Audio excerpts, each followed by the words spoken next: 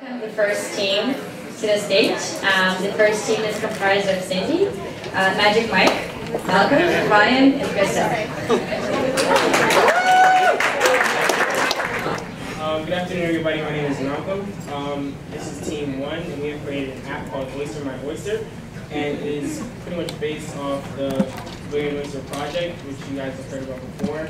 Um, it is a team of people that are really dedicated and um, passionate about returning the oyster population back to New York Harbor. Um, the app is targeted for kids ages like around 6 to 17 because kids those ages can influence their parents to buy stuff in the app and things like that. Um, our next speaker will be Ryan and he'll talk about the story. Hi, I'm Ryan. So our app, which is a game, has a bit of a storyline to it. Uh, the protagonist is named Oscar the Oyster, and as you can see, he was living happily with his family, his oyster reef, till all of a sudden fishermen came and separated him, taking the rest of his family. And they took him away um, and left him with only five pearls. And one was cut off, but five pearls. And uh, so his objective is to take his pearls, recruit other oysters to join his reef and his family, and uh, replace his family. And this will be told throughout cutscenes in the gameplay. And this can actually relate to real life because in Manhattan itself, like the Hudson River, it is it pollution has just it's gotten rid of the oyster population pretty much. It's pretty much made them extinct.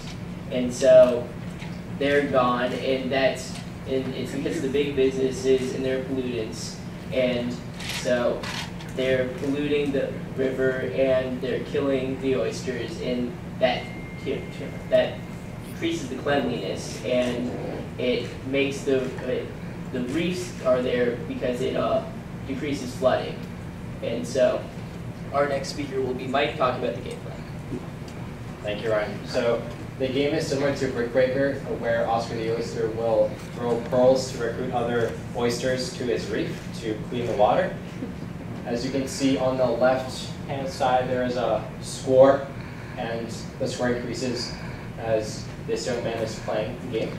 And on the right hand side, there is a high score, so uh, players can decide or yeah, see how well they're playing. There is also a checkbox in the corner, bottom hand corner, where uh, it says sound, and you can basically decide which sounds you want to be played while you play the game. And now Cindy will be talking about our donation options.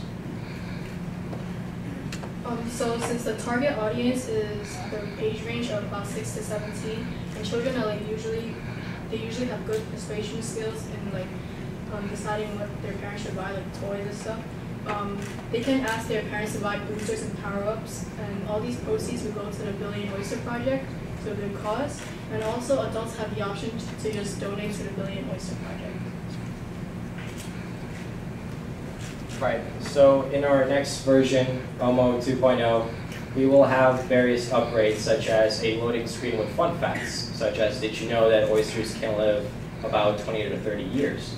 And after that, we will have quizzes by the end of uh, a couple levels, and that will kind of test uh, players and see how well they retain the information and how well they can associate the game with reality, because the game's main objective is to educate users about the real world. And if you want to play the game later, please go to the link below, oystermyoyster.azurewebsites.net. And Christoph will be talking about how this is implemented in uh, the Billion Oyster project. Um, our main point for the OMO or Oyster My Oyster game is so that uh, the billion dollar oyster project can uh, you know use our game and bring it to younger ages like as our as we said ages six to seventeen so that people of all ages can play this game and donate so that they can clear New York Harbor of all these dead oysters but replace them with new oysters so that we can filter the water and have a cleaner harbor. Thank you for your time.